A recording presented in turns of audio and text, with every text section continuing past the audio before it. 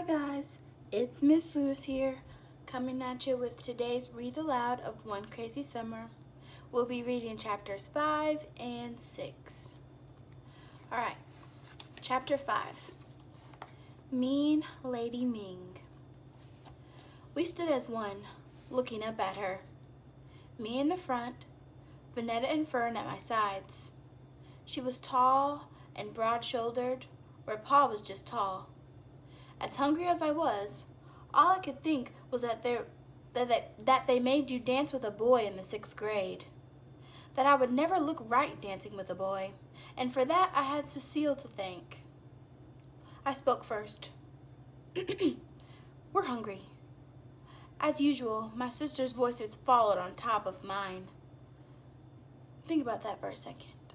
When she says followed on top of mine, do you think she means that their voices literally were on top of hers? Think about that while we're thinking about what's called figurative language this week. Vonetta, what's for supper? Then Fern, hungry, hungry. She rubbed her belly. We made a picture. Us looking up at her and her looking down at us. In the animal kingdom, the mother bird brings back all she's gathered for the day and drops it into the open mouths of each bird squawking to be fed. Cecile looked at us like it didn't occur to her that we would be hungry and she'd have to do what mothers do feed their young. I'm no big ma in the kitchen, but I would have opened a can of beans and fried up some franks. I can bake a chicken and boil potatoes. I would have never let my long gone daughters travel nearly 3,000 miles without turning on the stove. She said, What you want from me? Supper, I answered. It's past eight o'clock. We haven't had real food since breakfast. With Big Ma and Papa. I kept going. That was... I glanced at my wrist. Nine hours and twelve minutes ago. Vonetta next. Airline food don't count. Fern last. Surely don't. She was still looking down at us as if we'd thrown a monkey wrench into her quiet Tuesday evening. Then she spoke. Where's the money your father gave you? I crossed my arms. There was no way she was getting our money. That money's for Disneyland, I told her, to go on all the rides and meet Tinkerbell. This was the first time we heard Cecile laugh, and she laughed like the crazy mother she was turning out to be. Is Tinker Bell going to feed you? She was still laughing. We didn't think she was funny. We said nothing rather than talk back and get slapped. Look, she said, if you want to eat, hand over the money. I stared her down. Something I'd never tried with Big Ma. Cecile didn't seem to care. She said, Fine, I got plenty of air sandwiches here. I'm going back to the room. Open your mouth and catch one. The stare down ended right there. I unlaced my right tennis shoe, wriggled my foot out, and removed the mound of tens and twenties Pa had given me. Cecile didn't care that the money had been baking under my foot since we left Brooklyn. She took the money, unfolded and counted the bills, then stuffed them in her pants pocket, except for a $10 bill, which she held out to me. Go around the corner to Ming's. Order a large shrimp lo mein. She counted our heads as if she didn't know how many of us she'd had. Four egg rolls and a big bottle of Pepsi. Vonetta and Fern squealed for the shrimp and Pepsi, forgetting that this was wrong. Our mother should have cooked real food for us. At the very least, a baked chicken made franks and beans. Fruit punch, I said. Big Ma don't allow us to have strong drinks. Since Cecile set out, let out a single whoop of a laugh. Vonetta and Fern were too excited about having takeout to see that our mother was crazy. I said, We have to call Pa. Let him know we arrived. They chimed in, safe and sound, on the ground. Cecile said, Phone's next to Ming's. You mean you don't have a phone? Vonetta asked. Cecile said, I don't have no one to call, and I don't want no one calling me. Whether Cecile had a phone was not my main worry. We have to go out after 8 to call Pa and get the food. Aren't you coming with us? Ming's is a couple of blocks down Magnolia, around the corner. She pointed the direction. Phone booth's right there. Pause. Think about that for a second. Some of you are the same age as Vonetta and Fern. Do you think it would be safe for you to go out with your siblings past dark and go get some food by yourself? What would that be like for you? Think about that as we read. When we were barely at the door, she added, and tell Ming to give you four plates, four forks, four napkins, and four paper cups. No sense dirtying dishes. And you're not coming inside my kitchen.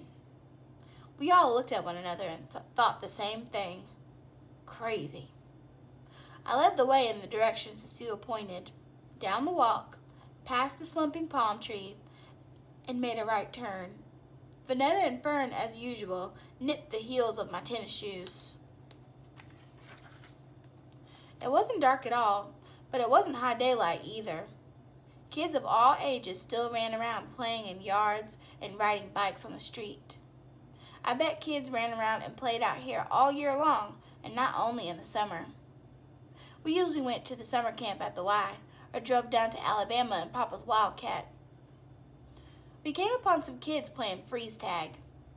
They jumped from lively wiggle worms to frozen statues just as we neared the yard. We felt the smirks of the gaping statues on us. Vonetta smiled, welcoming their interest in us. She was scouting out new friends to be with for the next 28 days. I let her lag a step or two behind to wink and smile at them. You can't stop Vonetta from chasing after friends. I kept walking, Fern sticking close to me. Vonetta skipped until she caught up. One thing was for sure.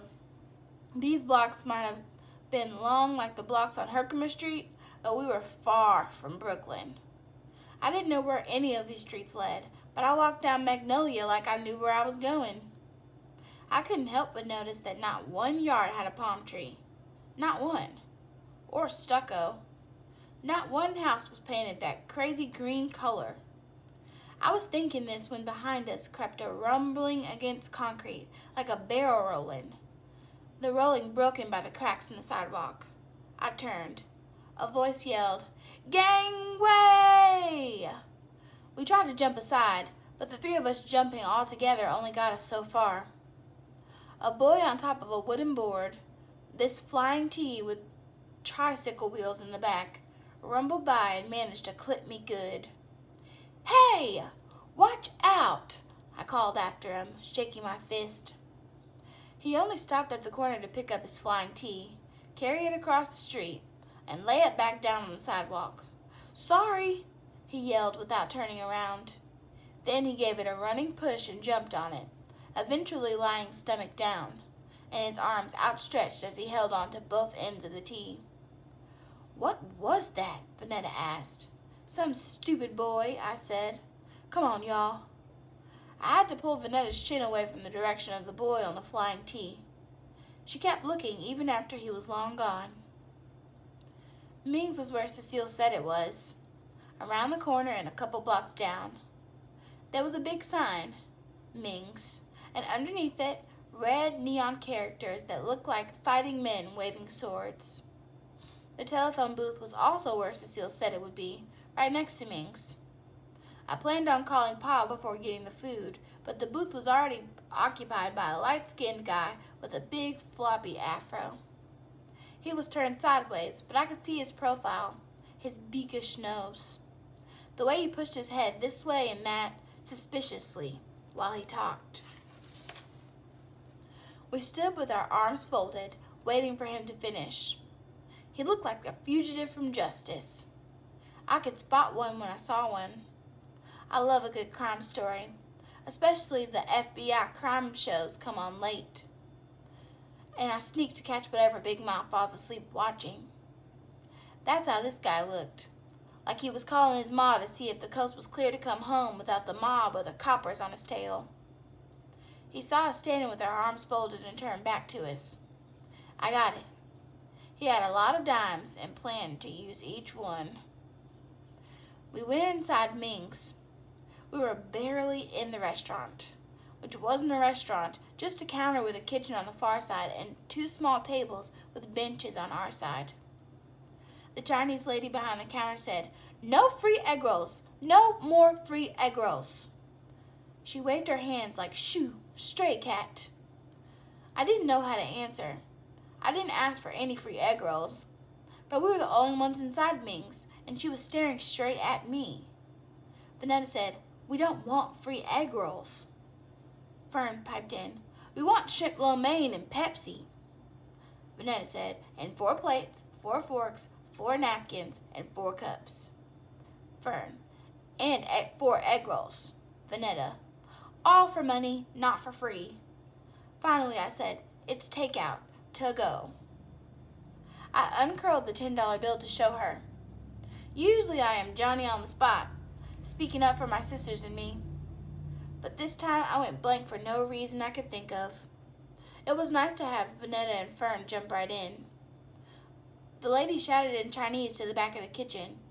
She sounded even meaner than when she said, no free egg rolls. I decided that just like Cecile was crazy, the Chinese lady was mean. Mean Lady Ming. She nodded to us and said, Okay, sit. We sat down and waited. Mean Lady Ming kept talking. Everybody poor, everybody hungry. I give free egg roll. Feel sorry. Then everyone come for free egg roll. She muttered on like Cecile did and looked mean and tired like Big Ma on washboard days. While I was sitting with my sisters, I made up my mind about Oakland. There was nothing and no one all of Oakland to like. I would get on a plane and fly back to New York if Big Ma showed up wanting her grandbabies. I wouldn't even tell Cecile thanks for the visit. Ooh, that was a rough chapter, no? Chapter 6 Collect Call. Mean Lady Ming laid a dollar bill and a few coins on the counter.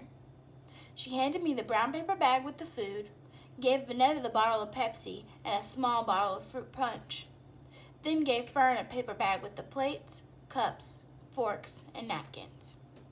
I scooped up all the change. There were at least two dimes in coins, which was enough to call home to Brooklyn collect. When we went outside, the beakish guy with the floppy afro was gone.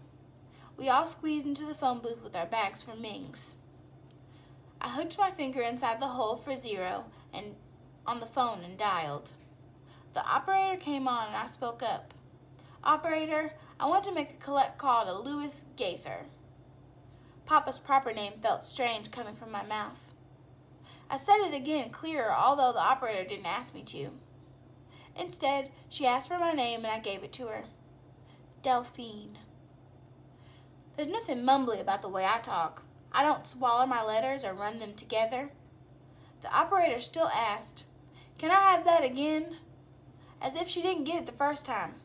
I broke it into syllables. Delphine. She told me to stay on the line. While she was ringing Pa, I realized my Timex was still on Brooklyn time and that it was after 11 o'clock. Pa rose in the dark for work and was asleep by 9. I started to wind the stem when the operator came back. Go ahead, miss. Hello? Hello? Big Ma sounded far away, but we heard her and were glad to have reached home. Already, Vonetta and Fern began puppy yelping in the background and grabbing at the phone. I gave them a stern look to make them quit it. Before I could say, We're here in Oakland with Cecile, Big Ma said, Delphine! Do you know how much this phone call is costing your father? There was no time to be tongue tied. I spoke up. But Papa said call. Not collect, Delphine. Where'd you get a thought like that? I knew you girls should never have left Brooklyn. You fly out to Oakland and lose your last ounce of common sense. Let me speak to your mother. She's not here, I said. She's in her house. Vonetta and Fern were still shouting to Big Ma and Papa, who had to be asleep. And why are you out in the street in the middle of the night? I'm going to tell your pa about this. Big Ma scolded and fussed, running up the phone bill even higher. When she was done telling me about myself and about that no kind of mother, Cecile, I told her we were safe and said good night, and Vonetta and Fern hollered out, Good night, Big Ma and Pa. Then I hugged up the, hung up the phone. At least I had done what Pa told me to do. I called. Cecile guarded the kitchen swinging door and pointed us to the living room, where she had laid out a waxy tablecloth on the floor. We spread out around the cloth. Cecile took over everything, dumping shrimp lo mein and an egg roll on each plate, tossing everyone a fork and a napkin. To me, she said, Pour the drinks, which I did. This was the most mothering we got, if you don't count her coming to claim us. Not that I wanted or needed any mothering. I was just thinking about Vonetta and Fern. They were expecting a mother. At least a hug. A, a look at how y'all have grown. A look of sorrow and a plea of forgiveness. I knew better. At least that was one thing Cecile and Big Ma had in common. Big Ma had no forgiveness for Cecile, and Cecile had no need for it. Mean Lady Ming had thrown in a pair of chopsticks. Vonetta and Fern eyed the wooden sticks and formulated ideas about turning them into hairpins, play fight swords, and pickup sticks. Cecile ended all of that when she broke the sticks joined at the top, rubbed them against each other like she was kindling twigs for a campfire, then wrapped noodles around them and shoved the noodles, shrimp, and sticks into her mouth. We were all staring. We'd never seen anyone eating with chopsticks other than TV. We'd never seen colored people eating with them. And here was our mother eating with chopsticks like the Chinese men that I had read about who worked on the railroads. She ate hungrily, setting no type of table manner, table manner examples for us, her daughters. Cecile knew her eyes were on her.